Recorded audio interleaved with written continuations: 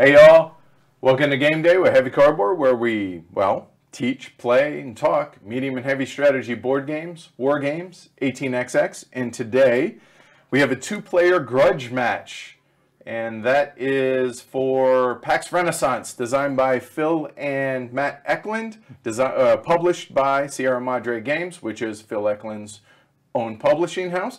Today, as I said, it's a two-player grudge match between myself. It's a rematch of sorts between myself and uh, good buddy, I guess, fellow herd, member of the herd. There you go. There Yeah. you go, member of the herd, Ash. Hello. Uh, yeah, so let's go ahead and get the chat on the board. And Ash is going to be taking care of all of this today. As far as teaching, he did such a great job in the previous one. Uh, this is going to be very similar in that it's going to be, we're going to teach it. Well, and by we, I mean Ash is going to teach it. Uh, except from the uh, the standpoint of a two-player game, which very small differences. Yeah, and we'll go over the differences between the two-player game and the previous four-player game that we played.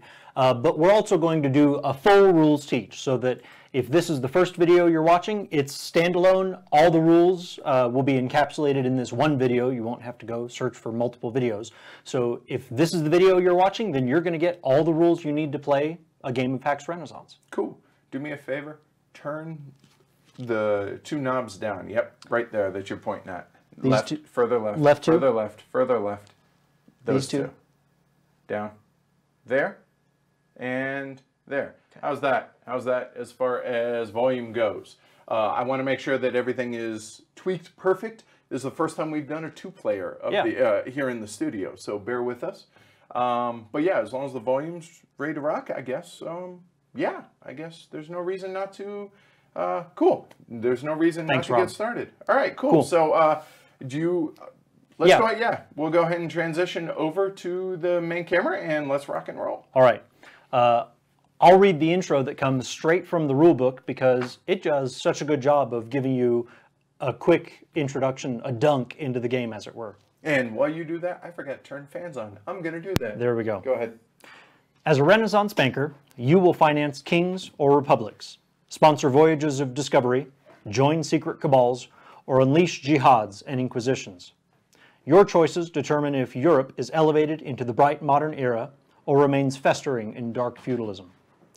Four victories determine the future course of Western society. Will it be towards imperialism, trade globalization, religious totalitarianism, or enlightened art and science? So, that's that's from the rule book. Um, in the game, we're all all the players are banking families of Renaissance Europe, late Renaissance, 14, 1500s.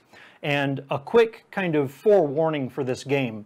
Um, there's a lot of information in this game.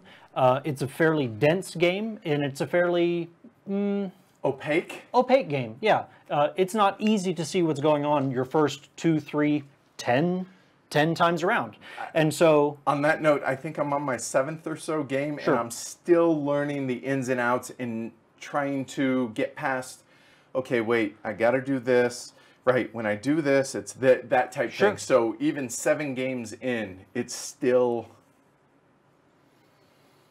tough Yeah. at times, right? And Yeah. opaque. you're still on the learning curve Right. 10 games 10 games in and I feel like I am too. So- that said, we can't explain everything up front or else it'll all just be gibberish. Yep. Um, so we'll try to explain what we can and then get straight to playing so that you can see things in action and we'll explain things as we go while we're playing uh, in the hope that it can make a little more sense when you're seeing it happen real time.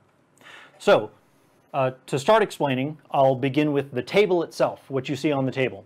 So here in the middle, you see a map of Europe. Each card represents a region in the map of Europe. You have uh, each kingdom is, has a name, England, France, Holy Roman Empire. It has cities on it. Hungary has Budapest and Bel- Belgrade. Excuse me, back then it was Belgrade. Right.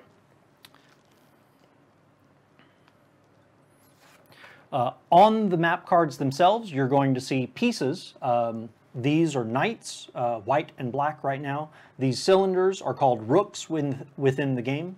In between the map cards, you will see cubes of each player color, and the game refers to those as pawns.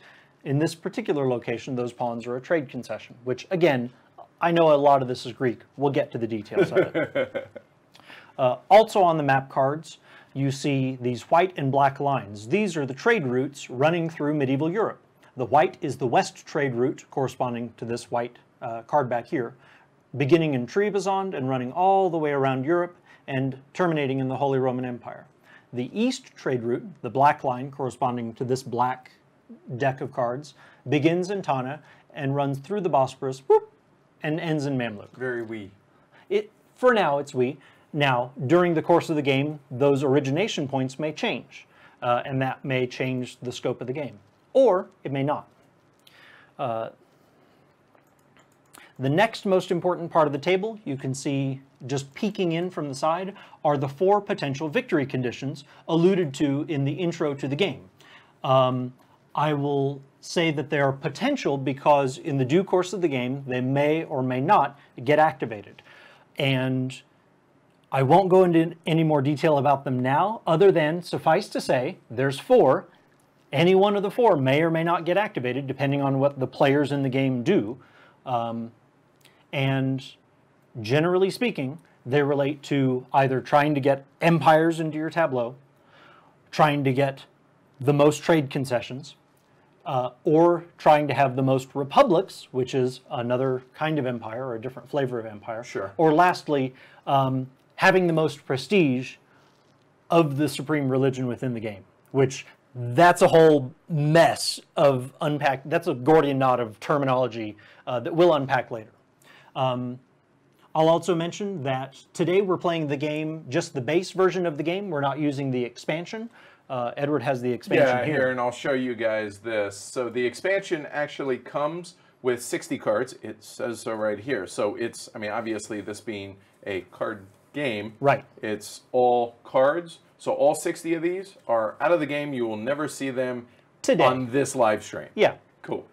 maybe for our third playthrough. Maybe.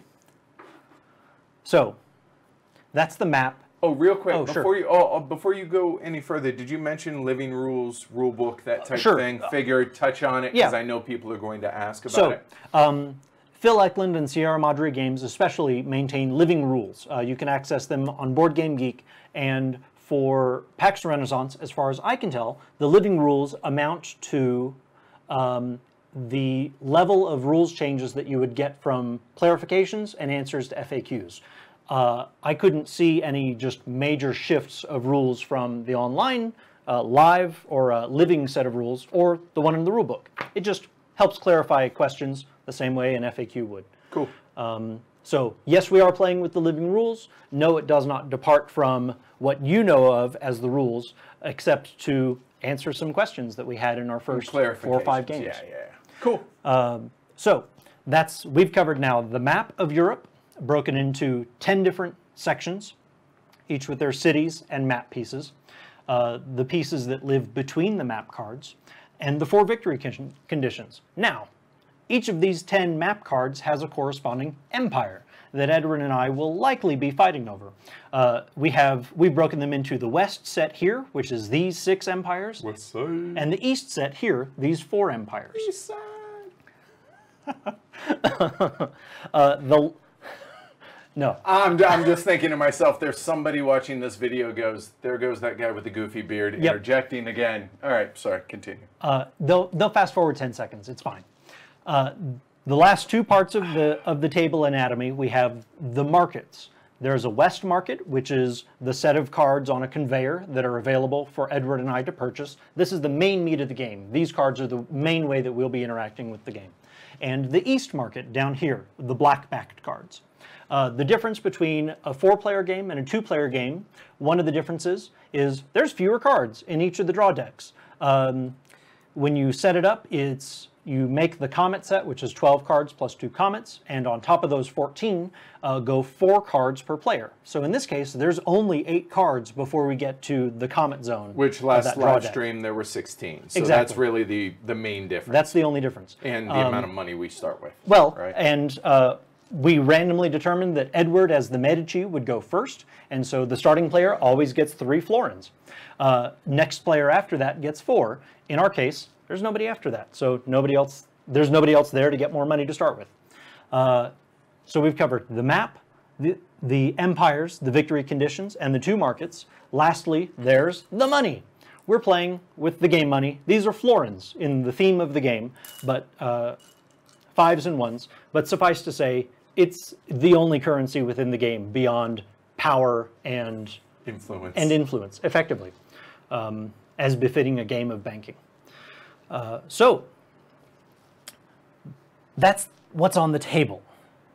So now I'm going to tell you what you can actually do on your turn. On your turn, you can do two actions, only two. Uh, of those actions, you can buy a card from the market, which we'll get into how that happens. You can play a card. uh, Sorry, when you buy a card from the market, you buy it into your hand. One of the other things you can do is you can play a card from your hand to your tableau, and uh, we'll get again we'll get into the details of these. Uh, one of the, your actions can be to run a trade fair, um, and that when you do so, you will dictate I'm running the West Trade Fair or I'm running the East Trade Fair. One of your actions can be to run the operations or the ops uh, in your tableau, and again you would say I'm running my West ops or I'm running my East ops. Uh, we'll get to those.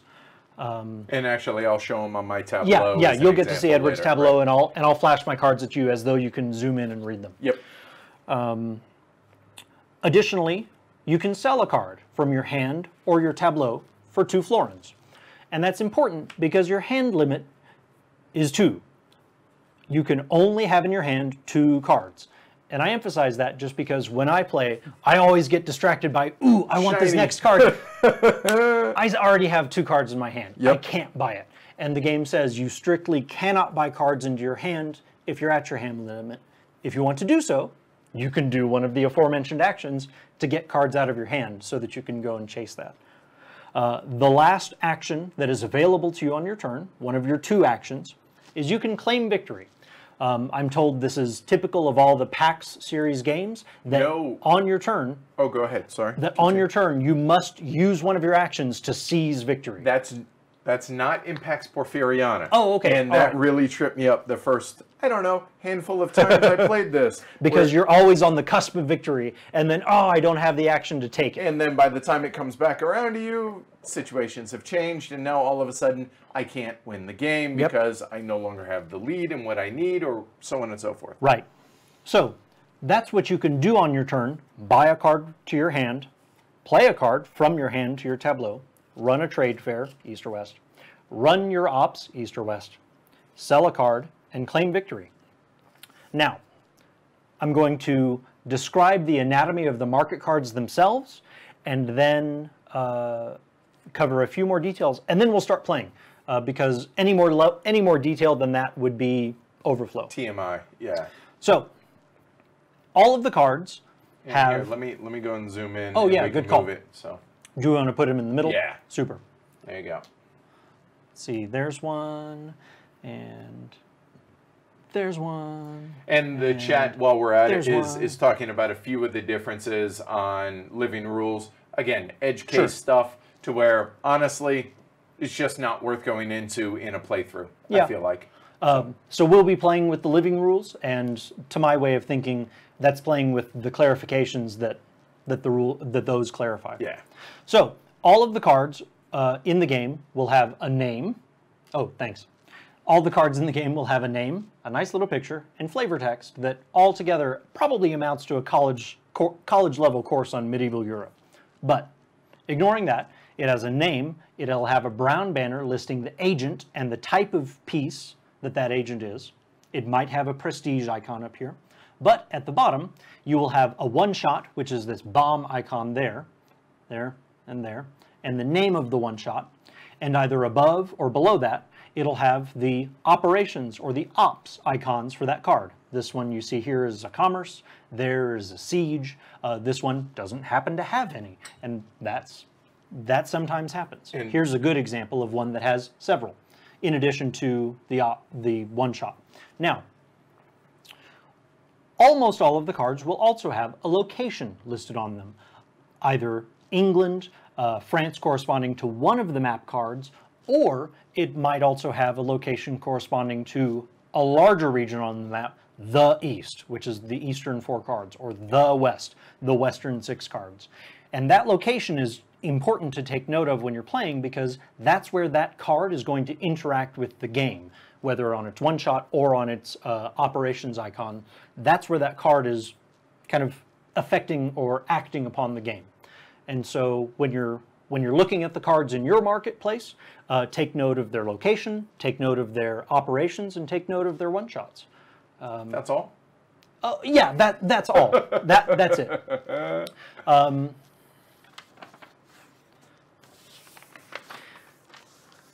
very quickly, um, I want to cover the details of when you play a card, the agents.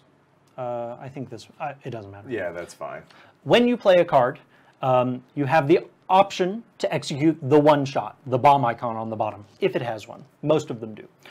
If you choose not to, you then have the option to place the agents that are listed on the card. Um, and occasionally a one shot doesn't include the agent, and so that's uh, that's the game's way of telling you if that agent's not involved in the one shot, now's your chance to play the agent. Right. Uh, the agents kind of continue the chess theme that's underlying the game. On the board, you have rooks and knights. You've seen pawns as well. Uh, the kingdoms or the empires are the kings. Those are the kings of the game. Shocker. Go figure. Uh, this is a very fortunate tableau because here we have queens uh, in both the east and west markets. Um, the queens are the way to capture a king. Uh, you additionally have uh, knights and rooks that will be agents on a card, and to complete the analogy, bishops, uh, which move, as in chess, kind of move diagonally to the whole rest of the game. And we'll we'll discuss how they happen uh, when they come into play here. Um, just very briefly before before we we begin playing, and I think we can. There's a number of player aids on BGG on BoardGameGeek.com. Um, there's several. Uh, they all look quite good. They all do something different. These uh, are just text. They don't incorporate any of the iconography. Others of them uh, do incorporate the icons of the game to kind of help make it a little more legible. And uh, I know, need these still. Oh. Eight, seven, eight plays in. yeah, I need I the use, player aids. I use Absolutely. them now. Yeah. Yeah. Uh, you know, in my in my eighth eighth and ninth game, I had my nose in the rule book, and uh, the only reason I won't now is because we're streaming. But there's always some new nuance or wrinkle or edge case that the rules cover um, that you may encounter or you may try to avoid encountering. Right. And on that, I'll include that the rules have a very good walkthrough of all the kind of game anatomy, in addition to an alphabetized glossary of terms. And so while we're playing, we're going to uh, do our utmost to use the glossary, use the terms within the game, so that when you hear that term of art, you can go to the glossary and look it up and understand it better. Then on the backside is a very, very good chart uh, discussing the different kinds of regime change. Uh, some of them are one shots, some of them are not, uh, and what the uh, what the potential effects of those kinds of regime change are. All right. Lag. Yep. Hold on. For some reason, we're lagging right now. So give us a minute and we'll be right back. So stand by, guys.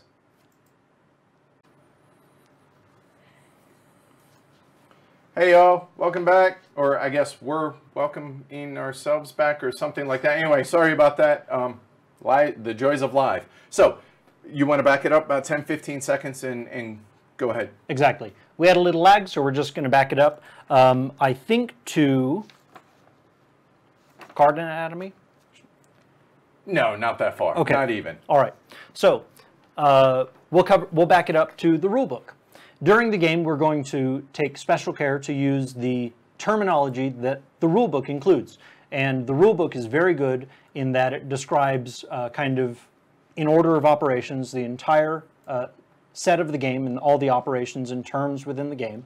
And at the back of the rule book is an alphabetized glossary. Uh, and so as we're playing, we're going to make sure that we use those special terms of art. So when you hear them, you can go to the glossary, look it up if you need to, um, and kind of re-reference back within the rulebook. On the back is also a very, very good chart showing how the different kinds of regime change uh, can play out depending on particular variables. Uh, it also describes who participates as an attacker or a defender in each of the types of regime change, be it conspiracy, peasant revolt, religious war, or a plain old campaign. Yeah, this is invaluable, and we'll be referencing this throughout the game. Exactly. Cool. So, uh, I know we didn't detail how to buy cards from the market or how to run a trade fair or even why you would want to. Um, we'll do that as we're playing uh, and kind of narrate and describe as we go. So, Edward, you're the first player. Cool. Uh, if you're ready to buy a card as your first action, then Yeah, all right. can. So here we go. We're starting. So just to give you guys an idea of what we're looking at as far as starting money and everything. So I start with three florins. Again, uh, Ash pointed out I am the Medici, which flavor-wise is the only thing that uh, that that matters Yeah. as far as that that and my player color, which obviously yellow. So there we go. Um, yeah, let me fix the chat as well. Give me one sec, guys. There And we while, go.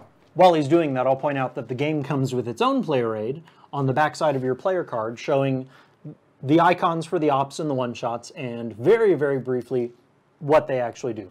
But we'll All right. talk through each of those as we encounter. Yeah. So apparently uh, there's going to be lag for some reason today. So we apologize, but we're going to just try and power through it and see how it goes. Okay. All right. So on my first action, uh, my options are I could run the trade fair. I could buy a card. I can't play a card because I have no cards to Right. start. So I'm. This is actually the first time I'm really taking a look at what I have for options. Um, I like the idea of getting empires, so I think I will. Um, let's see, France, England. Yeah, why not? So I'm going to go ahead and spend. So when you buy a card, you put a florin onto the marketplace on that market. And, that's this face down card here. If I wanted to buy, for instance, Joanna here, I would then place a florin on every card prior to it to then Take that card. take that card. However, Ah, Edward I'm is wisely aggressive. taking the cheaper coronation. right, I will take Mary the Rich. Now, the reason Edward's taking that card is the one shot on it. Those queen cards, the only reason to take it is the one shot, the coronation one shot, which is the most direct way to get an empire from the empire stack into your tableau. It's Which- the kind of easiest, most direct route. which you're about to find out how that works here in a little bit. So the first thing, next thing for my second action is I'm going to play two coins, two florins, and I'm going to take uh, Elzbieta uh, Bohemia, which is another, well, you know what, hold on one second. That is in England. It's a little far on the trade routes. Um, but you know what? Actually, on second thought, I will not. I will actually buy the second card, and this actually gives a good example Sure. of how to go about doing that. So we put one on the trade route. I would normally put one here, but as you can see, there's no card. And the conveyor does not have uh, convey, it does not move until the end of my turn. Right. So instead, the florin actually comes down here to the Duke of Athens, which is the same card in the first spot, and then I will choose this card That's a good into pick. my hand. Nice. So, um, the way that a player player turn works is you take your two actions and then you have a market refresh, what we call the conveyor, partly because it lets us do fun fun sound effects. As the conveyor moves down, set of cards available for you to purchase. And so that's Edward's turn. That's his whole first turn. So I now have two cards in my hand. I cannot take any more cards into my hand until I remove these two cards, either through selling them or playing, Playing them. them. All right. So, um, let's see. This is my first time really, really looking at the cards too. So you have a coronation here. Yep. You have a coronation here. Uh, let's see. You have And there another coronation. Wow, there's a lot that came out. Um, uh, a couple of bishops. There's a possible concession up here in England. uh huh. And yeah, that's about it. Yep. Well, there's bishops and stuff, and, and there's a knight, but and a rook, but important Hmm. note while Ash studies the cards real quick, if he were to purchase the Duke of Athens down here, he would play one, pay one florin onto the East Trade route, which is the first card in the conveyor, and then he would then take this card. He also would get any florins that are attached to it, i.e., on top of it from anything that we have bought. Exactly.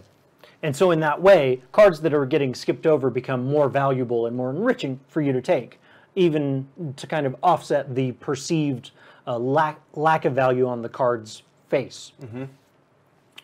And so, I'm going to try something a little different. I'm going to purchase uh, Carlotta, Lose. Yeah, I, I'm going to butcher these all day. One of our other house rules is that we always have to at least attempt to pronounce Yes. the name on the card. so I'm going to purchase uh, Carlotta Louisiana of Cyprus. So that's again to buy a card of the market. You put a card, you put a florin on the first card of the market and every subsequent card until you reach the card that you're purchasing. Whoop! And then it comes into hand. And uh, for my second action, I'm going to play it. All right, so, So- here I'll zoom out a little bit so you guys can see his So tableau. here's Okay. how this here's how the coronation works. On on the queen card Here, let me in see the one shot I will show them. in the one shot coronation, it shows you, it'll tell you which empires are available for you to marry this queen to to gain that empire into your tableau. Be They must be in the stack for them to be available for a coronation. Um, and we may get to see that here in a little bit. But uh, Your three One- options are Mamluk, Byzantium, and the Ottoman Empire. So you can choose one of them. and because of the fact that it's the first empire being played, all three of these obviously are, are available right now. Right. I will take the Ottoman Empire, thank you, please and thank you. And so that comes out of the Empire stack and into my tableau here. When you run a coronation one shot, uh, the queen and king are paired like this, oh, are paired like this. Uh, the, the game manual calls it the cruciform pattern, so that you can still see any prestige or ops icons that are on the queen card, in addition to the name and location and uh, anatomy of the king card that you've just gained. Uh, the other part of the cards is a tiny little arrow at the bottom that tells you which side of your tableau that card goes into when you play it. On the Empire cards, it says East right here in the bottom bottom left-hand corner. On the re- on the other cards, it's in the bottom center, a little arrow saying West or East. And that's my turn. So Uh, we were, hold on, you get to place a concession Oh, thank you. because you, Yes. took the king. Uh, So- the king. Go ahead. sorry, whenever there's a kind of regime change, and coronation is one of them, that grants you a concession on the map bordering that empire. And so my options are here. Uh, I married the or had a coronation for the Ottoman Empire, and so my choice is here or here.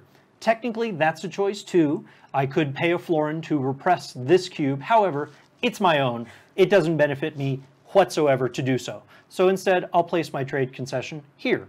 And the way that map borders work, um, outside the map map cards is not a border, it's those spaces between map cards. Correct. And thematically, that represents how the pawns of the game or the merchants kind of lived between uh, the two the two empires uh, listed on the map.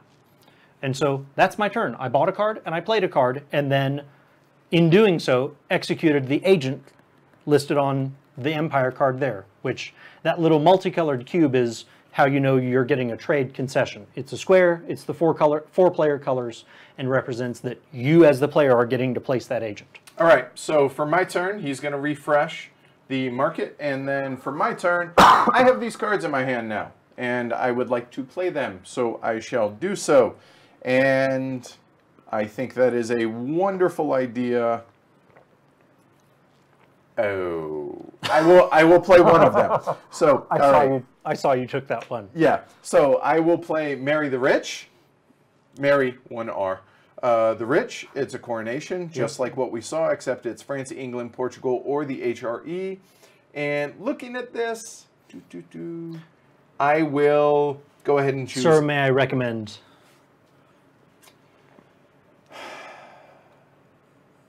Yeah, I'm going. Yeah, I, I'm, I'm good with that. So I will choose Portugal here. So I will take Portugal from the Empire stack. That goes uh, on top of the Queen, which then gives me, importantly, this symbol, which is a navigation. Um, I forget the exact term. Prestige, Uh, yeah. prestige navigation. This is important. You'll understand why here in a moment. But because it was a regime change, i.e., the kingdom or the empire came into play, I now get a concession for Portugal. So then, looking at, so I take one of my uh, my concessions or peasants, and I must play it either here for Portugal or here. And because I know what is coming, and I do too. I, Right. Um, because of the cards that I've already bought from Yeah. the market, I will place it up here in between Portugal and England, regarding uh, which is on the tr- in between the trade route on the northern side of Portugal. Right. And the reason for that, you might wonder, And the reason that I uh, offered up Portugal like a sommelier. right, is I am also going to play as my second action the Company of Merchant Adventures, which again is on the west side right here. So here's the other kind of trade shift. Most, or excuse me, the one shots. Most of the one shots, coronations, peasant revolts, um, Conspiracies, conspiracies jihads, and religious cetera. wars Right. are some uh, some kind of attempt at regime change. Uh, some are automatic, some are not. But there, those are all some kind of try at a regime change. Trade shift is the one one shot that is not. A trade shift is uh, the way that I mentioned before that the trade routes might change their origination point, and in this case, will do so. Now, All right. So here we go. So the company of merchant adventures. The very first thing that happens is I can choose to trigger the, one, shot. which is the bomb symbol right here, which is a trade shift to the Spice Islands. However, to be able to do that, you must have a navigation prestige prior to playing it. So this one will not count. However, oh, looky here, we got this with Portugal. So a trade shift. So let me show you what's going to happen with this. Yep. So right now, the current uh, west trade route starts here in Trebizond. Yeah. Go with it. Um, follows the white line, comes down around, do, do, do, do, do, do, up through all the way to the HRE. Well, if you notice, somebody, I'm not going to name any names, Ash, has uh, concessions on the trade route early on. Right. Whenever you fire, uh, do the, uh, the uh, host a trade fair Yeah. or be or do a trade fair action. All the concessions get paid along the trade route. Well, Starting at the top. which I don't like you getting paid. All these others, I can't imagine why. all the others, the black one again, as you explained, comes down here to Mamluk. The the discs here are busted. Go Right. ahead and take it from there. So, um, when the game begins, both of the trade routes originate in the Byzantium Empire and flow As along their did. area, yeah, as they did at the time, and flow along the arrows in and around Europe.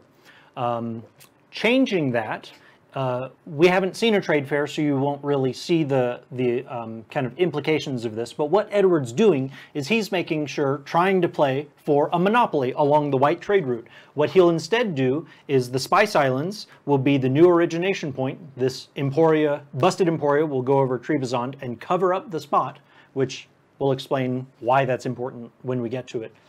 But now the white trade route only starts here in Portugal. uh, excuse me. Yeah, starts here in Portugal and flows up around and er, ends in the HRE, completely cutting off the entirety of the Mediterranean.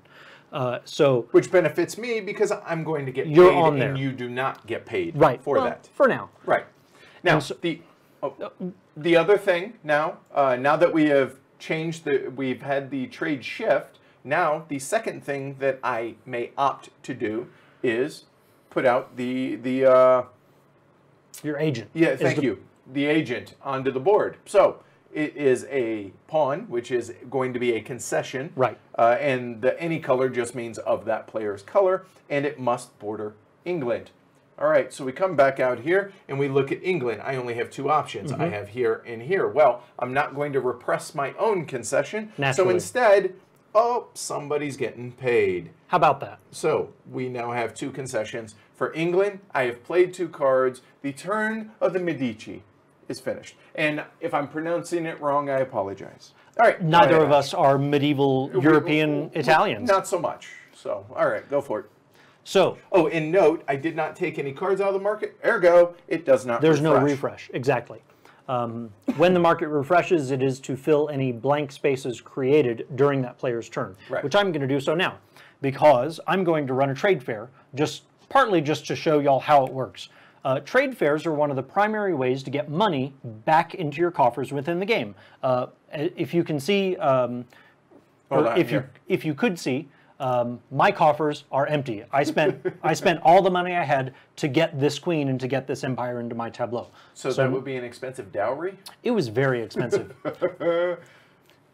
Uh, so, uh, one of the prime ways to get money back into your coffers is by running a trade fair upon which you have trade concessions. And we'll, we'll demonstrate that now. I'm going to run the east trade route, and here I'm going to verify One of the other things that changes in a two-player game is how much money comes out of the bank call. I think it's called. China Right. in the in the rule book, um, thematically representing the source of all this wealth flowing into Europe via the spice trade, etc. Uh, and so when you run a trade fair in a four, three or four player game, you pull out two florins. However, in a two player game, let's make Yeah, make I'm 100% pretty- yeah, yeah, yeah, no doubt. You pull Um, out one florin from from the bank to add to the market. Which. So what he's going to be doing is because he is initializing the east trade fair, uh, trade route or trade fair, he is going to start here. He will pay any pieces, whether they're concessions or pirates, in between each of the map cards down to the uh, either you run out of money or it reaches the destination of the trade fair. Right. And so, in a two-player game, we're going to pull one florin out of the bank and add it to the market. Now, you begin the trade fair by paying first the instigator of the trade fair. Hi, that's me. one florin. And then you pay every concession Right. along the route. And so we start here in Tana and follow the black line. There's nobody there, no piece there. If there were a pirate, which would be represented by a rook, that pirate would get paid and would take a florin. We now get to the next uh, trade concession. We pay it. Uh-oh, the trade fair's out of money. And so it ends here in, in the map border between Hungary and the Ottoman Empire, Before it got before it got to the Ottoman. Ottoman Empire. or Mammoth. And that's Mammoth. important because whenever you run a trade fair, you start by discarding, well, you start by adding money. You then discard the card from the bottom of the market. And then you conduct what's called a levy in each map card where the trade fair was profitable. And so in our in our example, that's these two map cards. And a levy is whenever a levy happens, either via trade fair or later on via tax, that means placing a piece onto the map matching one piece per card of the pre-printed type. Uh, here the uh, the three options are there, but that's covered up, and this is already full. And so in Byzantium, there's only one option to place the white knight there in Kaffa. In Hungary, there's two options, but one of them is already full, and so the only other option is to place a red knight there in Belgrade. The trade fair stopped paying out here, and so the Ottoman Empire does not receive a levy, Nor does Mamluk for that. nor matter. does Mamluk. Right. And he does not get paid for your concession. for my 'cause it second didn't concession. Your Right. second action. Now, note, this does not refill. This does not, the conveyor does, does not, not happen. Right. yet. The market refresh does not occur until the end of my turn. Um, so with my two newly minted florins, I think that it's my imperative to begin attacking Edward's western uh, control over there. I completely disagree. But I think instead, what I'm actually going to do, I think what I'm going to do is run my West Ops. Now, we mentioned one of the main ways to get money into your coffers is with the trade fair. In a four player game, you're likely to be paying your opponents just as much as you're paying yourself. The other way to get money is with your ops. Ops come in four different flavors. Yellow is commerce, which just gets money into your into your coffers from the market. Uh, purple is political and has all sorts of different things. Blue is religious and generally affects moving uh, bishops. Or being able to, the ability to qu- hush or silence cards. Right. Um, and then the last type is red, which is military, generally killing pieces on the map board uh, and possibly taking over empires. So what I'm going to do now is run my ops. I'm only have cards in my east tableau, so I'm going to be running my east ops. And at that, you technically have two cards Right. in the east. So when you run ops, you may optionally run one icon per card. And so my queen here has two options, either a commerce or a siege. Um, and in that case, the location for the queen, since it's not pre-printed, is the location of the kingdom to which the queen's attached. So I'm not interested in sieging in the Ottoman Empire, but I am interested. Are you yeah, sure? I'm real Because sure. Sieging kills 'Cause it's my own. off, right, and weakens it and makes it easier for me to take it over. Right. Uh, generally speaking, within the game, map pieces on the board represent stability within that empire. Uh, later, we'll see map pieces or uh, pieces on a card or on the empire card that generally represents instability within that empire. knights represent aggressive capability of an empire, and rooks uh, generally are defensive, but also just kind of add to the stability of said empire. Castles. Yeah. Kind of, you, I mean, they Castles are and rooks nobility. Yeah, look exactly. like castles. It kind of makes sense. Right. So, uh, my ops for my queen, I'm going to run the commerce op, and the way commerce works, it'll say east or west, and you then take one florin from any of the market cards. And, you know, I don't want Edward to be getting paid to take this card, so I'll be taking the florin from here. Uh, in our game accounting, we, we pay onto the op just to kind of help ourselves track, track our ops. Once the tableaus get bigger, you'll see Yeah. why that's helpful. I'm then going to campaign with the Ottoman Empire, and I'm excited because So, you want me to run through what a campaign does, or do you want to go ahead and. uh, I'll do it. Okay, go for it. So the way a campaign works is it generally or it specifically represents this particular empire attacking one of its neighbors. Real quick, before you start here, Sure. let me show folks. Oh, yeah. So, all right. So Oh, if on you the table. notice right here, and I can't really zoom in right now on this, but campaign op, it has to do with knights on the map, Yep. and it has to do with knights adjacent and rooks adjacent here, and then it says what happens for the battle resolution right here. So really, really handy. I'll let you take over from there, but Thanks. figure I would Yeah. reference that So- for folks.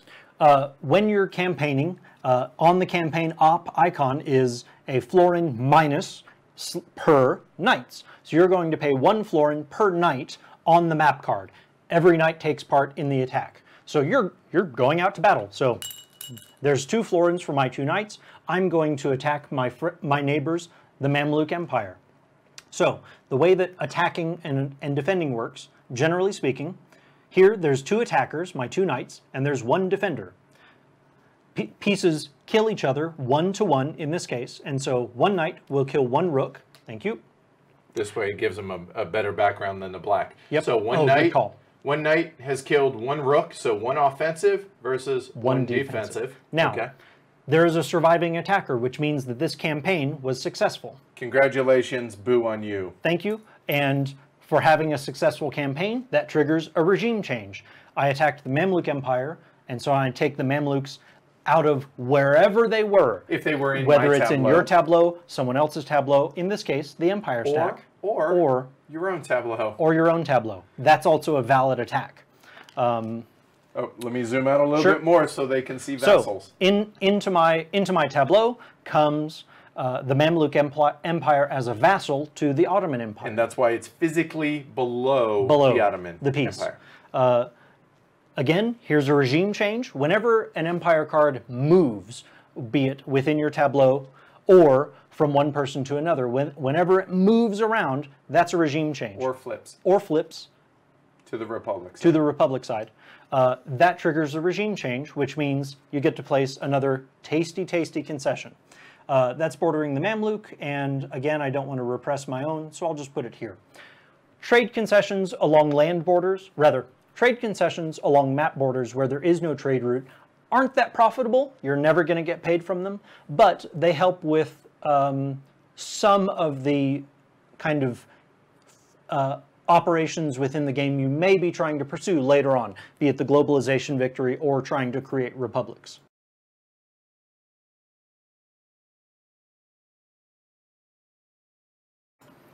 All right, so that was both your actions, or was it just one? Oh, you ran the trade fair and then you. I ran the East Trade Fair and I ran East Ops, so now we're going to refresh the market. This card is then discarded. And the money follows that card, correct? And same if you notice these just shift down, so the money stays on those. Yep. Cool. So All now right. it's your turn. All right. Well.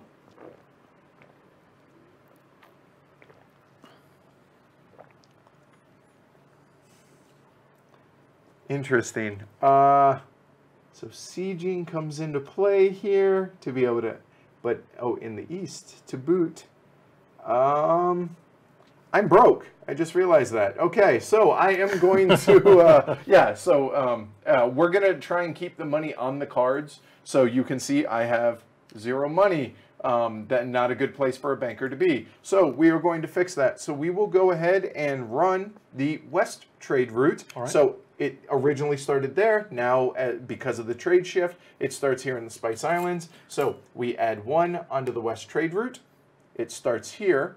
I get one for being the cool guy that actually triggered the trade, uh, the Trade fair. trade fair. Thank you, I, dude. Trade route, trade Yeah. fair. All right. So we follow the white line, and it always goes clockwise for the uh, for the west trade route. Right. So it comes up, boom. Oh, look at that! It hits me.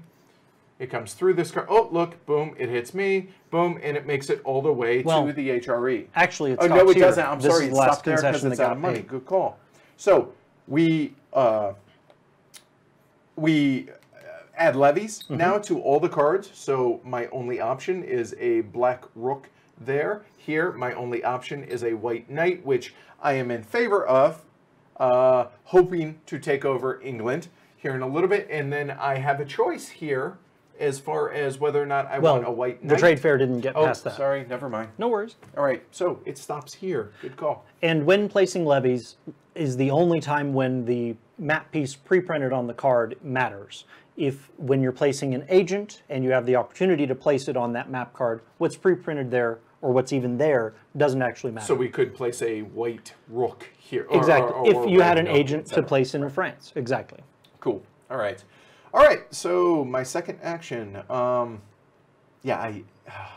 this one time, can I take three actions? Right. Um, Wow. There's there's The spirit, the spirit of Paul Chad is with you. Yes. Uh, so I will go ahead and spend one florin, place it on the east trade route. I thought you might do that. Uh, Elzbieta of Bohemia. Yep. I shall claim, plus I get the one florin to boot. That is my second action. I now have one hand card, so I'm a little bit more freer for what I want to do for the next turn. Right. We refill both sides. Yep. And refill comes from uh, a a uh, a error on the Oh, original Wildcatters uh, player aid, and Oh, yeah. it just kind of stuck. Stuck. So we call it refill nowadays. All right. So uh, I'll narrate that we now have our first comet appearing, and comets are the card Oh. when purchased. If I could, real quick, I totally missed it because the Oh, trade yeah. fair is existing. I forgot. Good call, Peanut Gallery. Um, could have put a white I could have, and I, I You will do so. Okay, good call. There we go. Cool. Instead of that one when I did the levy. Yeah. Continue. So, comets are the cards Oh, that, when purchased by a player, is how we choose to activate one of the floor, uh, one of the four uh, victory conditions. Um, if it's not chosen, then that's one less victory condition that's going to get activated. It's still at the top of the market, but it's out there. Cool. And somebody's asking about uh, Pax Porfiriana and Pamir. They will be coming playthroughs down the road for sure.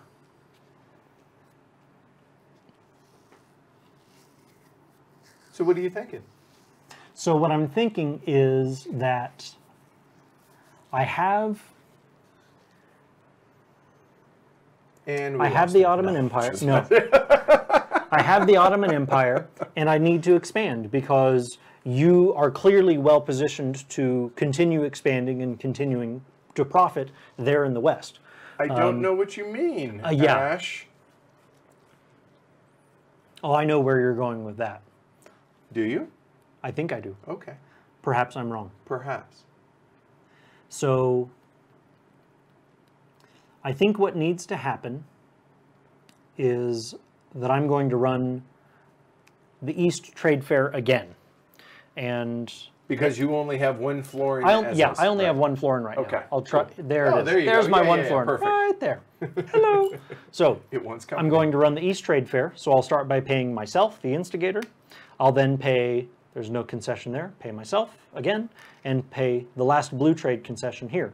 And in this case, It seems awfully selfish of you. I'm just saying. you know, um, co- pot, the pot and the kettle is all I can say. I, I didn't say mine wasn't. I simply said that yours was. So now we would now we raise a levy and every map card paid. However, Byzantium and Hungary are saturated in the game. That's called saturated when all the potential cities for map pieces to go on is full. So no levy is raised. However, Ottoman will get. I will take a black knight. Thank you very much.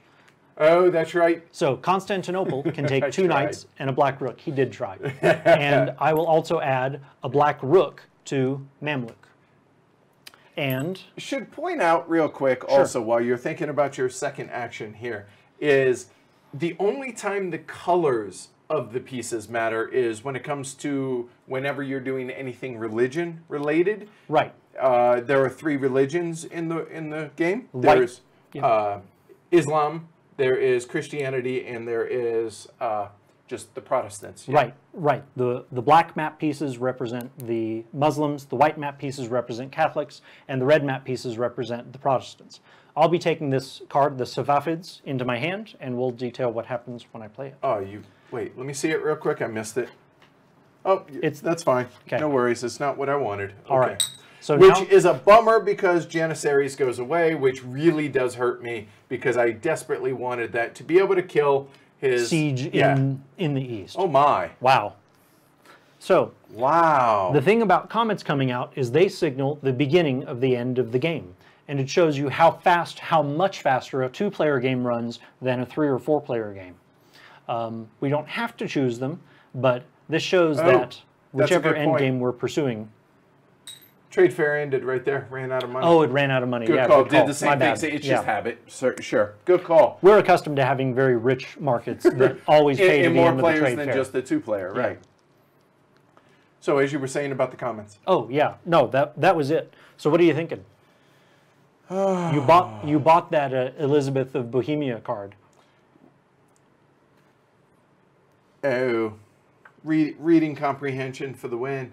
Um, I actually thought England was an option, so I think I will go ahead and let's see. Yeah, I got enough money there.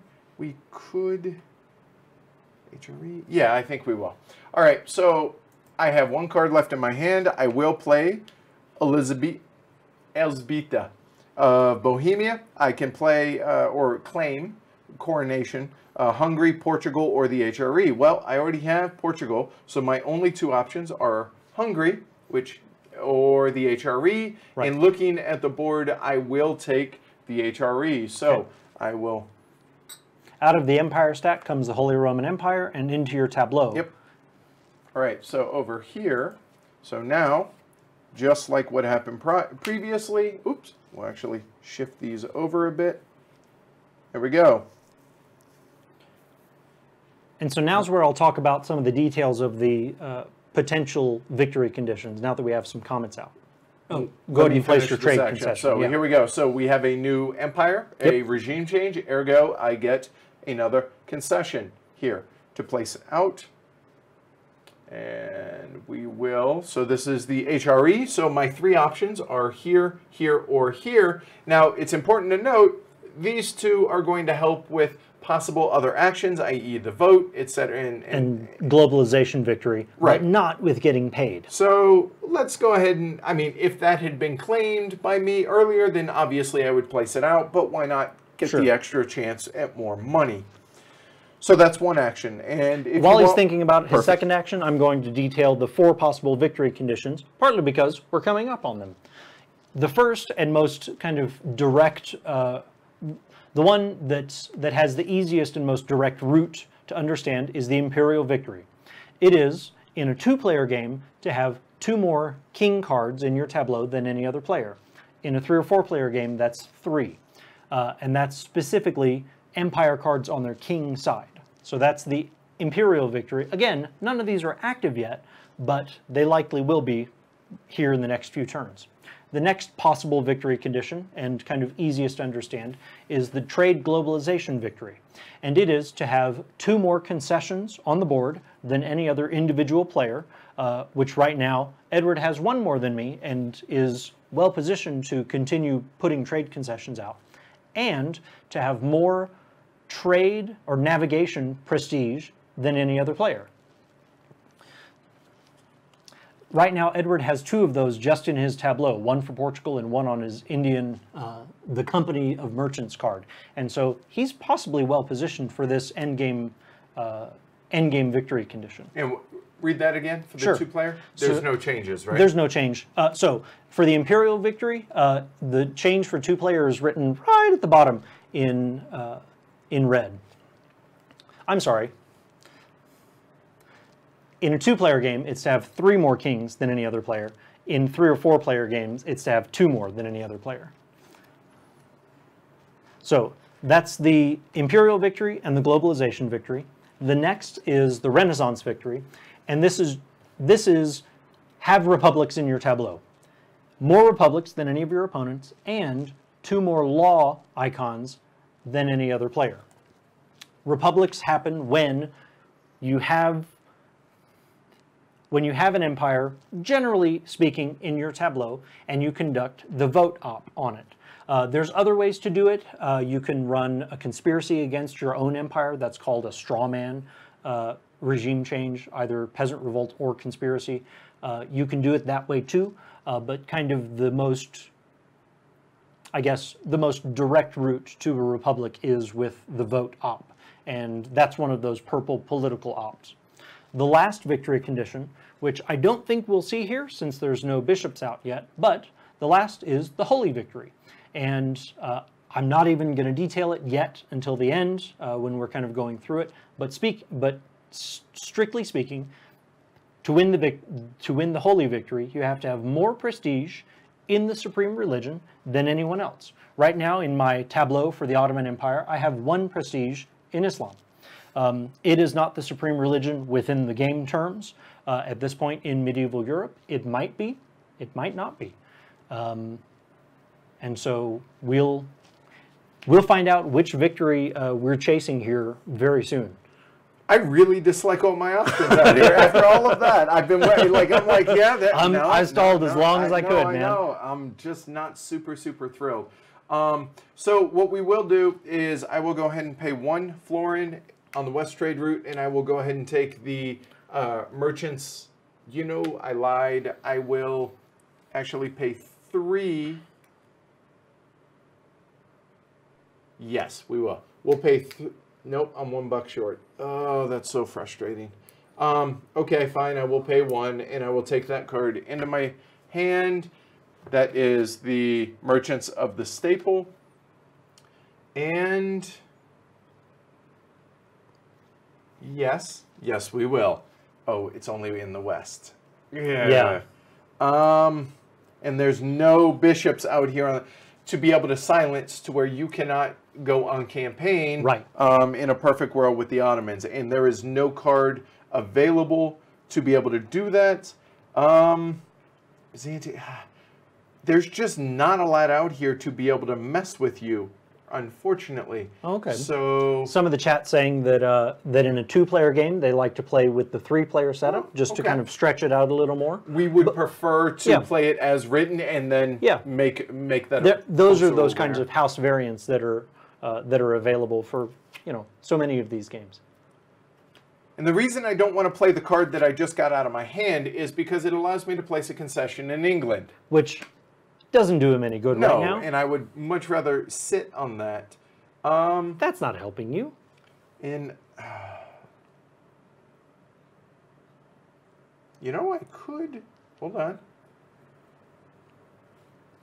Yes, I think we will actually. Uh, make sure now. This is where Ash's experience, even though I have seven games under my belt, this is where uh, I'm still rusty. So here we go. So I have two florins left. Um, none of the cards are super exciting to me. I have one hand card here. So I'm going to go ahead and run the West yep. Ops. Okay, which cool. means I get to go ahead and uh, do one one uh, one tableau or uh, one action on every card. So I can't do a trade shift. That's a one shot. So this card does me no good. Both of the queens do me no good. Well, meaning I can campaign. So to campaign, and actually I will show you guys this while we do this. And hopefully you guys can make it out. So campaign ops. So knights on the map are for attacks. Right. And knights adjacent and rooks adjacent are, it weakens me, but that's okay. Is it? Yes. now I'm getting paranoid.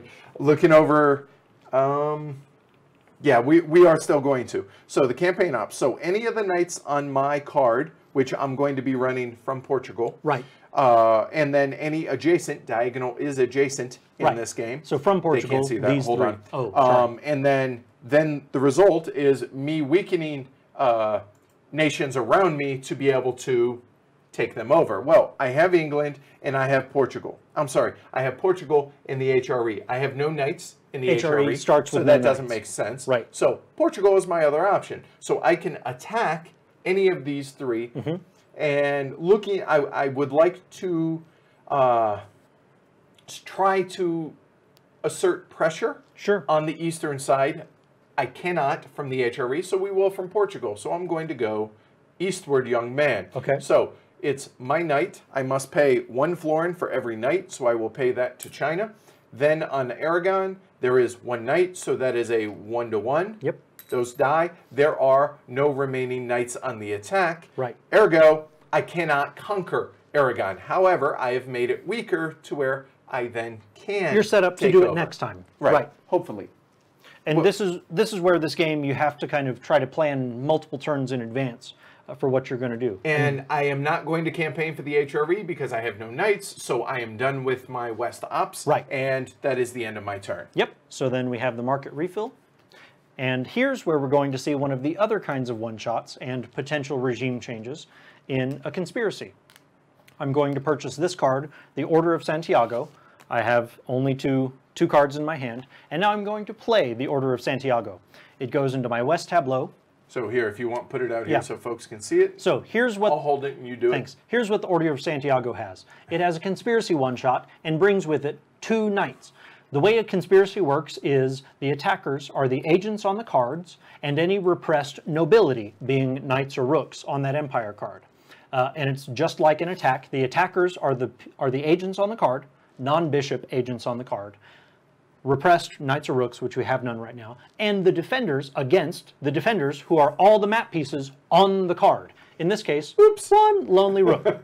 and so in this case, I choose to run the conspiracy op. You betcha. We have two attackers, one defender. They go one to one, and that causes a regime change All for right. the for, for Portugal. for Portugal. So here's what happens the regime change, the queen does not come with it. The queen is out of the game, she goes away. And then I sadly say goodbye to Henry the Navigator, and I regrettably hand him over. And so now that the Portugal is part of my tableau, there's a regime change. Haha, we get to trigger regime change. And Which means you get to place a concession. I get to place a concession. Now, I would very much like to repress this concession here that Edward has. However, I don't have the money to do it. I could pay one florin to repress it, and if so, it would then come onto the Empire card here. But I was not quite so parsimonious as I should have been, so instead, I'll just put my concession here. Um, and that now goes onto the map card, which I'll put it there in uh, in Granada over. And when you're placing your agents, this is a case of placing an agent. Again, you don't have to match what's on the map card. It and just so has to your go into one of the choice cities. was any of those three cities. Right. And the reason you place it there was you don't want, for whatever reason, a black rook on here. You don't want to block the white knight, which would be defensive. Right. Or uh, allow you to go on the offensive Exactly. later on. assuming that I can hang on to the, my newly gained empire. Uh, and that's my two actions. So that's it. Well, that sucked. All right. So yeah, um, so Nick asks about what the comet signal. Okay, so you guys can see out here on the right-hand side over here are the four in-game victory conditions, not in-game triggers, but victory conditions. Those are all inactive. If you select a comet, instead of it going into your hand, you immediately trigger it, which means you flip one of those four victory conditions to the active side, and Right. now somebody can possibly win Claim victory. You can't claim a victory until the It's victory active. condition is active. Right. So that's what those are. And neither of us. Eh, he is in position. Right Uh, to answer your question, Nick, no. um, Really? it doesn't take an action to uh, use the comet card, but it does take an action to buy the comet card. And so, in that sense, it does still take one action because you're buying it out of the market. It simply doesn't come into your hand. So, if you happen to have two hand cards and you wanted to buy a comet, you still could. I have a feeling the game's going to be over in two turns unless I can do something. Maybe? I'm not sure. Oh, you have to have three more Yes. me. Not not three, but three more. That's Okay. correct. So right now he has three empires, one of which is a vassal, and I have one. So one of these, and I believe it's the uh, age of help me out here, feudalism, is the one Oh. where you have to have three Yeah. more than your opponent. Right. So he has three to one. And what I'm thinking about doing is trying to make it expensive for him to flip that. I don't want to make it easy on him to be able to flip that. So th- my first action, I hate just playing prevent defense though. Um, yeah, let me think. Let me think. Let me think. Um,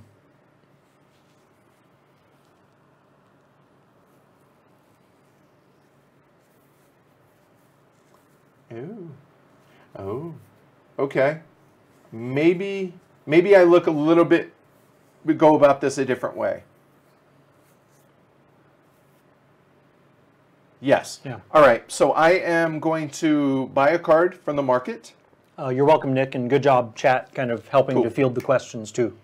It's a team effort. All right. So I play one. Uh, I'm going to purchase the Jewish Pirates, and I shall play the Jewish Pirates, which going into my tableau now, we have the East. So it says the East. So it goes into the East. There is no one shot, but it does have Arg. It has a pirate. So, and it must be placed adjacent to Aragon.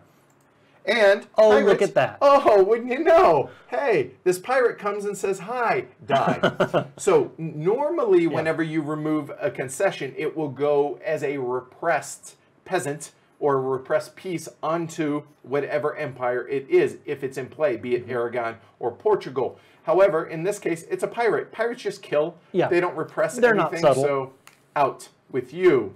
Well done. Thank you. So that is first action. It's actually both of your actions because you bought the card. Oh, then and played, it. Urgh. Yeah, Okay. so so I tough. have. So this is where normally we think out loud.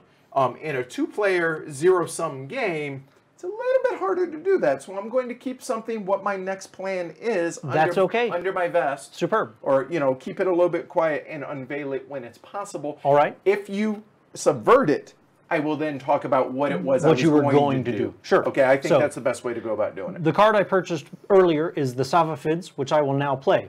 On it, it has a Jihad one shot uh, targeted at Byzantium, and it additionally has a Black Bishop to be played. Uh, now, all the one shots, the Peasant Revolts, ref- uh, Religious Wars, and Conspiracies, involve the attackers, the non bishop agents on the card. This is the bishop, so this agent won't be attacking. However, here's how religious wars work. Religious wars work First, you need to have heretics on that map card, map card pieces of a different color. Uh, we jokingly say that nobody puts pants on for a bloodless religious war. So, here in Byzantium, I want to kill somebody. Exactly. Why, why is it worth going that's for? the whole point of the religious war. Right. So, we do have, uh, as the game calls them, heretics within uh, the map card of Byzantium. So, it will the religious war is on. This jihad is on. The attackers for any religious war are the map pieces of the color indicated on the card. In a jihad, it shows a black crescent moon. Which, because those are Muslims. Right. So, black pieces on Byzantium. There's one attacker, one defender. Now, in addition to those attackers are any knights on bordering map regions. Here in the Ottoman Empire are two more attackers. So right now we have three attackers to one defender. This will be a successful jihad. Um, you know, I'll choose to take out this one here. And so we have, they kill one to one, and that's the end of the jihad. And there are survivors. There's surviving attackers, and so it's a successful uh, jihad in this case. It's a regime change. Now, religious wars are special because on the back side of these map cards, all the map cards have a theocracy side. Um, in this case, it's a Muslim theocracy in the case of Byzantium. Now, that said, Mamluk starts as a Muslim theocracy and the Papal States start as a Catholic theocracy. They can each flip to a different theocracy side. And thematically, that's just when this game took place. Those were the two how it major could have happened. religions. Exactly. Right. So Byzantium is now a Muslim theocracy, and Byzantium is now, there's a regime change going to come into my tableau. And oh, fancy that, with the regime change comes a trade concession. So that was my first action to play the card. my second action is going to be to run the east trade hold route. on, oh, on. sorry. Um, oh, the bishop. Thank you. So on cards All right, where let me back it out. yeah. Some one shots involve the agent, as we saw previously with the conspiracy. Some cards don't. If you don't involve the agent, you, once you've run your one, your one shot or not, you then have the option to place the bishop, uh, place the agent. In this case, it's a bishop. When you place a bishop, it can go on to either the card that you've played, or it can go on to any other card with the same location indicated on the card. In this case, it could, co- could go on to any other Byzantium card, or it could go on to any card that says the East. So in my case, he could place it on my tableau if I had any cards that said the Byzantium East or, or- Byzantium. Right. Which obviously, that being the East, would only be on this side of my tableau. So we don't even need to look at the right side. That doesn't matter because those will never be uh, East side cards. Right. So here, I only have Aragon, so he cannot place the bishop on my tableau Exactly. yet. Now, uh, the way that a bishop works is a bishop silences shh, any ops, any op, No, I'm kidding. Go ahead. any. okay. All right, I'm done. I think I got it out of my system. any ops on that card that is not blue. So with the Safavids, you can barely see here, it has the blue Inquisitor um, op, and it has another op that's a purple behead op. Right here. So this is the card in, in question. It has a bishop. He's going to place the bishop on that. And Yep. exactly what he said. This Inquisitor action, when you run the East ops for you, is not silenced. You can still trigger that. Right. However, the behead, he cannot because the bishop is physically on that card and shh, Right. Bishop's uh, bishop agent pieces exist only on tableau cards, and they exist specifically to silence generally other people's tableau cards. In this particular case, uh, I think I'm going to play him on a Byzantium card, another Byzantium card in my tableau, the Byzantine Empire. Um, I'll explain why here once eh, once uh, we have some lag time to fill up, but I think that's what I'm going to do, and that's my first action for my turn. So for my second action, I'm going to run the East Trade Fair again, now that I have some more concessions to profit from. So we run the East Trade Fair, we add a florin, and so pay the instigator and pay each concession. One, two, two, three. three. Now, And now, finally, in this case, there is money left over, ergo it made it all the way to Mamluk, so now you get to place a levy on each of those. Right. And here, let me go ahead and bring it back in. and I'll just place them real quick without kind of Yeah, I think, we, discussing. I, I think we've covered that pretty Yep. well. So that's the end of my turn. The last card comes out and is discarded as part of the trade fair. Uh, in the rulebook, it talks about thematically how the discarding of the card is the injection of, of resources into the into the market or the economy. You know what? Hold on one sec. Did you just nope? Where the card that just left? Help me out. Oh, uh, it would be that one, but that was already face down. Okay, nope, that wasn't it. All right, I had a plan now. Give me a moment. Let me remember what my plan was. I got so excited just watching all that, and you know, got involved, and um, that was it. Uh, there. Okay, let me make sure I'm not. So we have.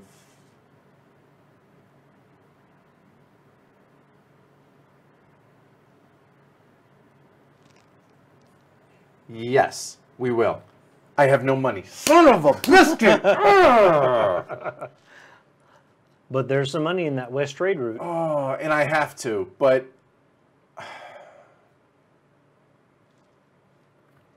you have my. The game's over. There's nothing I can do to stop it at this point. I need a third action to be able to stop it. So I'm going to be Sure. as if, okay, Yeah. because the game is going to end on the Is this where you reveal your Yeah, evil, yeah. evil master plan? Well, it, it really wasn't a huge deal. It was just to try and thwart what it is you're trying to do. Right. I'm one action short. So here we go. So because I am broke, um, Yeah, I need a third action because I need to purchase that card and play it. So Yep. here, well, I'm going to run the West Trade route. So you guys have seen this. I play one. I am the instigator, so I do that. Here we go. One, two. It stops right there. So I will get these three.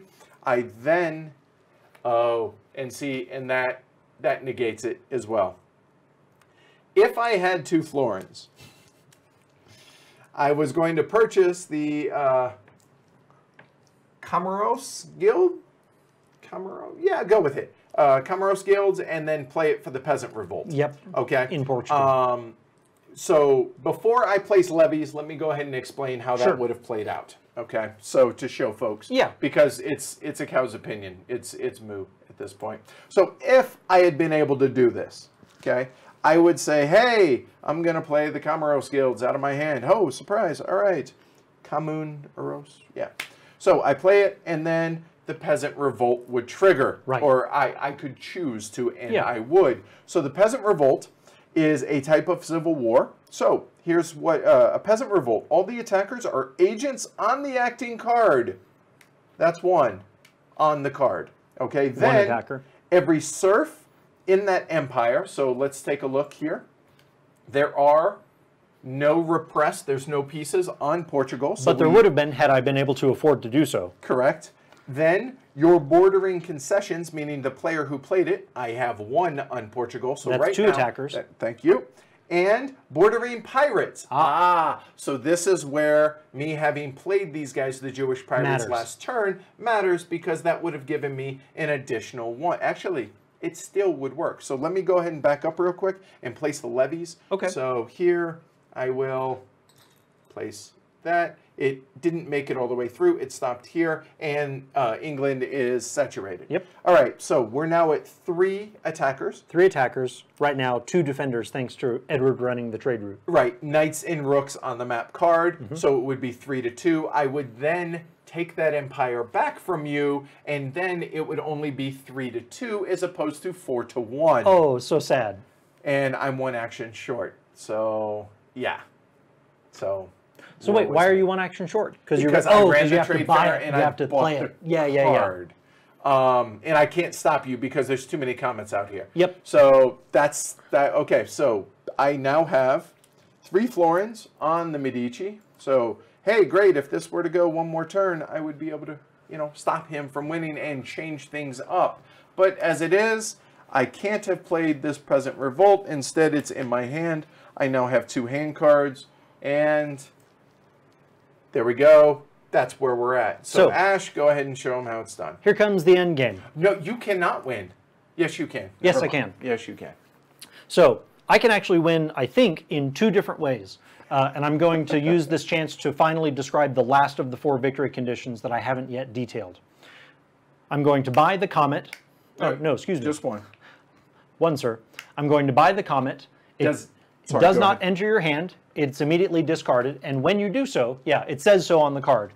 And even the iconography says When flip a purchased, V. discard and flip an inactive victory card. I'm going to choose to flip the Holy Victory card, and that's because partly to show off a little bit, haha, um, but also for the sake of teaching to actually finally explain in full detail what the religious victory is. And real quick, before the other one that he could have to win the game Is the Imperial is- victory. which is to win you must have at least three or more king cards than any of your opponents. So as you guys can see, he has one, two, three, four. Four to Edward's one. Because he took Portugal from me earlier, and I have one. So four Right. minus three, or four minus one is three, and there you go. So this is the easiest in the game, I Yeah, feel, I to be able to play. So In most games, it's going to be the easiest. so Ash is going to show off, and go ahead. Here's a little showing off, uh, a little hot rodding. Here's the here's the holy victory. All right. So you must have the most prestige, and uh, we've been kind of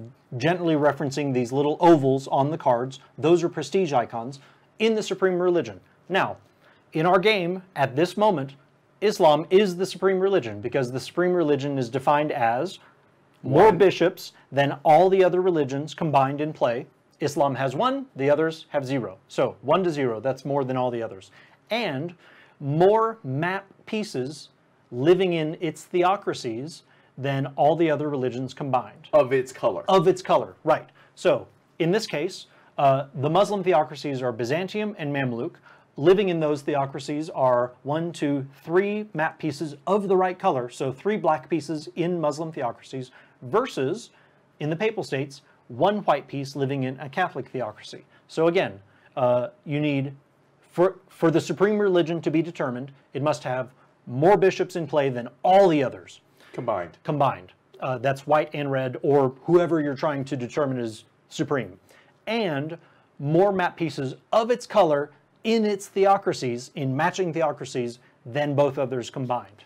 Note, if the Protestant uh, theocracy was in play, it Sure. would be the Papal States and the uh, the the Protestant. Uh, Sure. Let just Sure. just for the example, let's say oh, let's say that France became a Protestant theocracy And you over can here. see the Red Cross versus the White Cross. And let's just say through the course of the game that that white knight somehow stuck around. That white knight doesn't count for the Protestant theocracy because it's a non-matching piece, So- a color piece. Do the count again. We, so we've this- covered the bishops. In this count, one, two, three black pieces in black theocracies versus one, two of the other religions matching pieces in their matching theocracies. and again, the Catholic knight does not matter because he's in the home of Protestant uh, of- Protestantville. Exactly. Okay. So uh, yeah, so it'd be one, two, Two. not three. If Exactly. it were three, that would negate it. Right.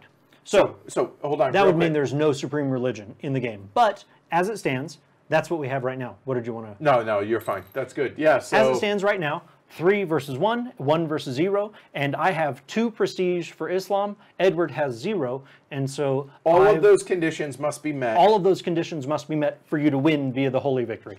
That's why we didn't explain it before. because it's the most convoluted, most complex, ah. not the hardest, but the most complex. I To think. kind of determine the game Yeah, state. But now, actually, I'm really glad we got to see this. So that was all part of the master plan, obviously. Right. So, uh, as the beginning of the rules kind of allude to, you can either be high minded and highfalutin and go for a Renaissance victory where people live and vote in free republics or trade across the globe, or you can put all of Europe under your heel in an empire or, in this case, uh, religious totalitarianism. All right. So, so, so that was me getting my ass kicked. No, no, no. no, no, no. It's all good. No, no, no worries. Um, I usually people know this. I, I'm terrible during the live stream. You're Plus, running. You're basically running a spaceship trying to stream and play a game You're at the fine. same time. Don't, no, I, I think that played out completely different Yeah. than the last game did. Oh, when yeah. we played it four players. Yep. Um, so okay, you now have close to ten I think I think I'm at ten. I think I missed logging one. I think I'm at ten now. Thoughts? I still love the game. After 10 plays, I'm still exploring uh, what the game can produce. It varies based on what cards come out, what cards aren't even in the game, based on how the decks get sorted. Uh, there's a whole stack of cards from East and from West that aren't in the game at all. And that changes how the game plays out. Not to mention the expansion. The expansion, which I haven't even played yet. Uh, how the players play the cards changes uh, how how you get into them. And I don't want to spill the beans too much on my thoughts um, for the review coming up, but uh, I think that chess as the underlying kind of analogy within the game is very appropriate. Um, it's very ambitious, but it's also very, very appropriate. This game has a great deal of depth, and it has a lot to explore. Um, and and I'm glad that I've now seen it at two players too, um, because it's it's even a little bit different at two versus four. It really is. And uh, as you alluded to, we are going to be reviewing this two weeks from Thursday uh, on the show, on the podcast. You and I actually are going to record it this week while it's Yeah. fresh in our heads and everything else, uh, but it's not going to air for a couple of weeks. This is now seven or eight plays for me Okay. of this, and I'm finally. Aha! Like I saw how to Yeah, yeah, yeah. You at saw least your path. one of them. I, at least one of the things. I let you take over the East far too much, um, and that's due to my still being in the rules and the mechanics of the game. you had a stranglehold on the West commensurate. Sure. And the cards didn't play out, which I'm totally okay with Yeah. because thematically I appreciate the the variance, and you have to make lemonade out of lemons, Yep. right? I liked it a lot at two. Um, I feel like it's a lot more, you know, knife knife fight in a phone booth type Mm-hmm. thing, uh, even more so than in three or four players. Sure. Uh, I do want to explore the idea of playing with a three-player setup, Yeah. as uh, the Peanut Gallery alluded to. For basically, what that means is it's going to add more cards into each of the East Draw decks, decks, yeah. so that the comets. So basically, it prolongs the game a little bit. Yeah. Because the time frame on this game, I believe, is like 45 minutes to an hour and a half, or thereabouts. It says one to two hours. Okay, which feels honest once you when we're not streaming it, when we're not doing all those. Once you know the rules and once you're up to speed and you can just break it out and play, yeah, it Yeah. plays really that fast. That said, it is for me having played High Frontier twice in the last week and a half now. this is still the hardest game for me to wrap my head around. It uh, High Frontier pales in comparison to this for me because that it. Not saying that this doesn't make sense. It does. It's just the opacity of your decisions uh, is a lot more uh, well, opaque Sure. uh, than in a even a heavy game like like High Frontier. There's more layers going on with each action Totally. and each kind of the the repercussions. and there, there's more things that you need to be aware of to defend against Mm-hmm. Yep. in this. Um, I think this is fantastic. I also think that if you said, "Hey, would you like to play a Renaissance game?" My my base of reference is two games. Okay. Pax Renaissance or Virgin Queen. Okay. There's no competition for me. I think it would be this far and away because this distills everything, not everything. Obviously, it abstracts a ton of it out. Uh, all the way down to the flavor text. I mean, so much of it's just in italics on Right. on the I would much prefer this in an hour or two versus Virgin Queen in 8 to 10. Yep. I think this does a better job of Cool. what that does, in my opinion. But again, that's kind of apples to bananas. It has the same theme, but they're completely different in scope. Yep. I feel like. So yeah, fantastic game. Uh, big fan.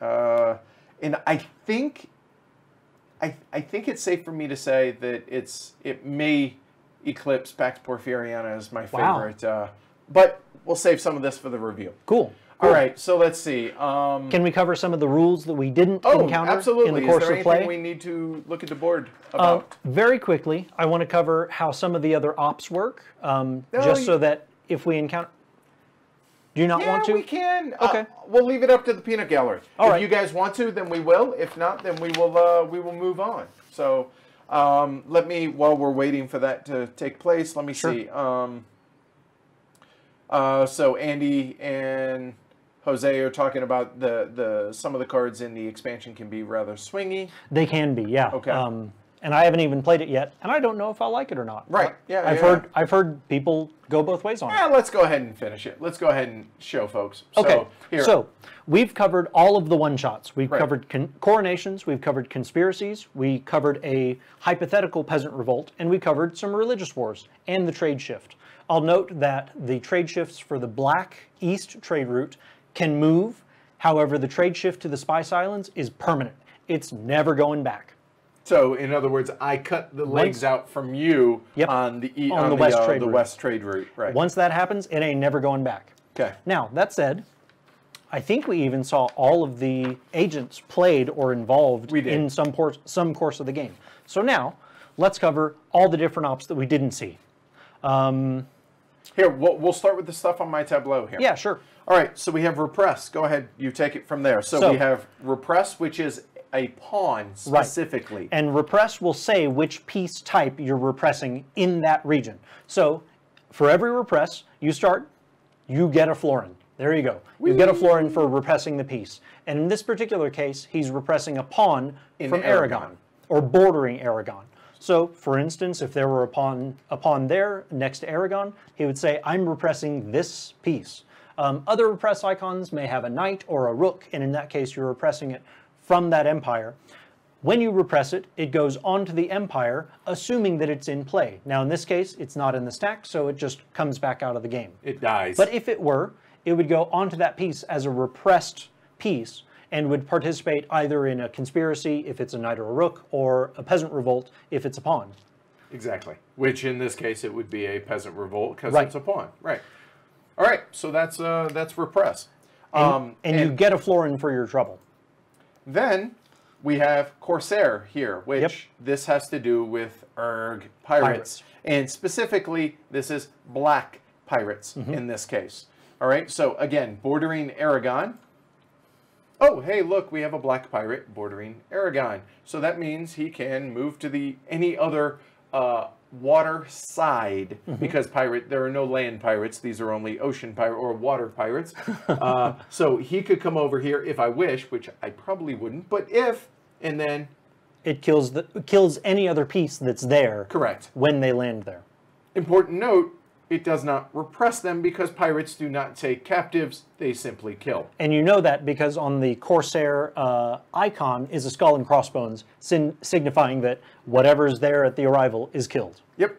All right, that's all that I have on my tableau. Let's see So, what we have. Do you uh, have something? After Corsair, uh, the other the other red ops we already saw campaign. The one we didn't see is siege. Okay, And the way let me show siege works is it'll be a skull and pro- it's red with skull and crossbones and a knight and a rook. And what that does is lets you kill one map piece, i.e., knight or rook, in that location. That Vlad the Impaler lets you siege in Hungary, and so boop lets you just kill one map piece in that in that location. On the easy. map card On the because map that's card. only going to be a knight or rook. Right. Uh, and that's the piece. Uh, one of the other political ops that we might have seen had I gotten to keep playing is Behead. There's no need for that jab. there was no need for that. Um, so the way that Behead works Glory to Ash. is when you choose that op, it kills beheads from someone else's tableau one other card or one card with the same location. And here's where that interchangeability of Hungary is in the east, and so Vlad the Impaler affects both Hungary and a card that says the east. Um, there's no examples right now, but let's say that he had Vlad the Impaler and I had the Hungarian Empire. He can also behead not just any tableau card that says Hungary, uh, there's no good examples. He can also behead the Hungarian Empire. When he does so, if you behead an empire card, you also lose the beheading card. Right, so he- Vlad would die, but Um, Vlad he died die, a hero. But he died a hero, killing, beheading this empire. yep. Uh, that's how behead works. We talked Uh, about the Inquisitor. Yeah, we talked about the uh, the blue ops, uh, the Inquisitor. Let's see. Tax? Tax. Here's a good And example. Tax and Vote, I think, are the only two left. Yep. So um, we saw commerce. That's the only gold uh, op. Uh, so tax, the way it works, tax lets you target one levy. So you target a specific levy. My card here says Portugal, so I'm going to target Edward's levy here. Oh, excuse me, Edward's concession. Uh, target the pawn, Edward. As the owner of this taxed concession, you must either pay one florin to the bank to keep it there, or remove it. I'm looking for. We, we have no vote cards. Oh, actually, in the um, entire. oh, here's the- yeah. There you go. All right, go ahead. this Keep game going. was this and there's an example this game was never going to go the way of the renaissance and republic There we go. good call so the way the tax works you target Sorry. a specific concession bordering the map location so edwards please pay one florin if you want to keep that there Fine. there he pays it and now he the taxed player chooses a piece to levy onto that map card and here in this particular example there's only one choice you mind popping a knight there onto my empire Yeah, makes him stronger. thanks buddy However, had it been like this, I would not. You would not be able to tax me you're right because it's already saturated. exactly So if you cannot add via a tax action, you cannot tax the people. Right. And so, like with trade routes that add the levies, a tax adds a levy. And if a map card's saturated, you can't run the tax op. Different, uh, different. ugh, really, different than a trade route, which you just skip it Yeah. and move on. Whereas this, you cannot actually take the action itself. Exactly. Um, so that's the tax op, And then last, we have the vote. the vote. So here's how voting works, and it's one of the more complex ops to deal with. And this is actually was something I was looking to looking try to and do. do. But there was never going to be in hindsight Do you a have a card. Do you have a vote in England card? uh, boy, you ask a lot of me. Oh. Um, so no, hold on. I will try and find one. Give me one moment. Okay. Stall. While he's fishing, um, the way that vote works, it's the most a. It's the most direct route to creating a republic. And when you do so, have one in the west. Okay. That'll work. Yeah, a vote. That's the thing. The vote op will always say vote east or vote west. All right, so we have the the west and a vote, Right. and the vote has the uh, king uh, piece symbol Right. on here. So, first, for a vote to be run, the empire must be in play. It can't be in the stack. It also cannot be a vassal. Uh, people, a vassal kingdom can't vote their way out of vassalage. That's not how medieval Europe works. That's not how any of this. That's not how works. any of this works. But let's say that England is in play and Edward wants to run a vote on it. It's I over here like in my tableau. Run a vote on So, that. It must be in play either in someone uh, in someone's tableau on the top. Then the person conducting the vote must have more concessions bordering that map region than anyone else. In this case, Edward has two, I have zero. Awesome. Next. He would then pay one florin for every repressed piece on the card. Which- right now there's none, So but I had that money. happened, he would pay one florin per. And now this empire comes to him flipped over on the Republic side. And you can tell the Republic because it has a scroll icon versus the crown. So here is the Republic of England into your tableau. which that would then go like so. And you notice possible ops. It's a change of regime, ergo I would then get to place a concession Yep. if I wished. And then whenever I run the West ops, I now have those. And thematically, it makes total sense. People are voting Right. for the Specifically, Republic. the people that you're telling to vote are Right. voting for that republic. Uh, something to note all of the empires on their republic side have a very different set of ops than their kingdom side. Right. Um, generally, they all have commerce. Some of them, like England, uh, Holy Roman Empire, have a vote icon. Once you make a republic, it's much easier to make more money and make more republics. Cool. I think that's it. And that's that's everything Yeah. uh, that we've covered. fairly concise, relatively speaking. I think. I mean, what time is it? It's been. We started at what eleven? It's not Yeah. even one. An hour and forty-five minutes thereabouts. Yeah. Including a, a couple minute intermission due to the technical issues.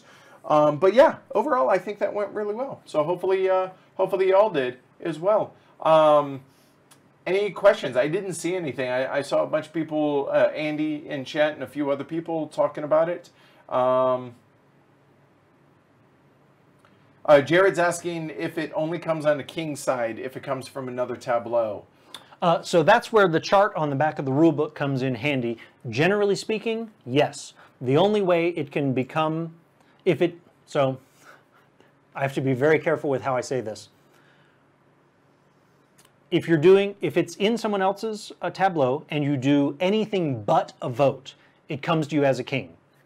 If it's in someone else's tableau and you do a vote, it comes to you as a republic. Now, that said, if it's already in your own tableau and i.e. not a vassal, um, you can do what's called the straw man, uh, peasant revolt, conspiracy, or uh, religious war, Any kind of empire change regime change that's not a your campaign. own tableau, Right. it becomes a straw man, it flips and becomes a republic. There republic. you go. Cool. Awesome. People Best are like three. best of three. no. All With right. the cameras off, it'll go faster. Right, yeah, yeah, yeah. All right, so any questions on y'all's end? It doesn't look like it so far. Um, so cool. All right, good. All right. Great. So hey, first off, thanks for teaching it again, welcome. Ash. I definitely appreciate that. You are a lot smoother on this game than I am, It- and that it's was just invaluable. practice. It's So, just practice. appreciate it. Thank you. Um, Happy to do it. for uh, for y'all. Uh, we appreciate y'all watching, especially, and hopefully we made either your work day go by, or you, if you're over the pond over in Europe, uh, you were able to join us. So awesome! We appreciate it. If you like what we're doing here, then uh, like, subscribe the video, everything down below. We have promoted and mentioned what our next week and a half of live streams are. You can see us on uh, the last video that we just made. We did that Twitter, Facebook, our webpage, BGG, whole bunch of places. Also, um, none of this happens uh, without our patrons, which we're up to 214. This is our count. So thank you, patrons. This studio is because of them. And so if it's something that you want to support, we would definitely appreciate it. You can go to patreon.com forward slash heavy cardboard and, well, become a patron. Pretty cool perks. Uh, you can check them all there, uh, all out there. We have a pretty active Slack channel for patrons. Uh, yeah, I think Yeah. that's about it. Yeah, That's great. Cool. Congratulations. Thanks, man. All right. We'll catch y'all. right. Uh, I guess Wednesday with Nuno and Paulo. Wow, yeah. Excited, looking for that. Catch y'all later. Bye bye, everyone.